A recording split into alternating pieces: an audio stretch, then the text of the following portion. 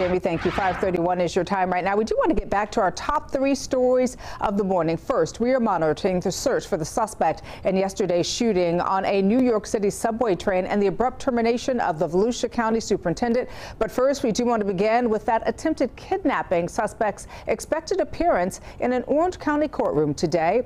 Nguyen, who you see here, was booked into jail yesterday. Deputies say he tried to kidnap a child on Monday.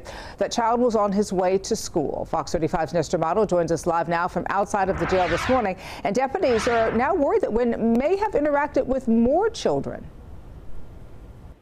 That's right, Danielle. This was the story everybody was talking about yesterday. In fact, a parent actually called deputies saying that she recognized the man that he had approached a 13 year old last year. So, because of that, investigators are worried that he may have had contact with other children. But right now, he's off the streets in jail and awaiting his first appearance today at 1 in the afternoon.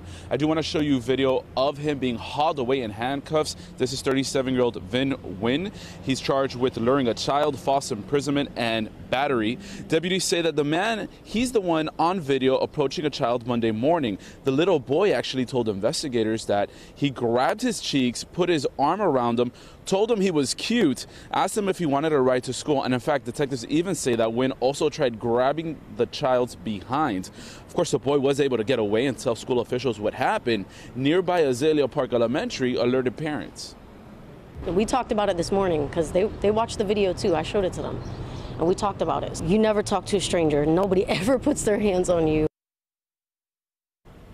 Well, a lot of parents are using this video, this instance, to go ahead and teach their kids about stranger danger. In fact, deputies say that it was a concerned citizen who actually called and tipped them off about Nguyen. Nguyen reportedly told deputies that had the boy gotten in his car, all he would have done was take him to school.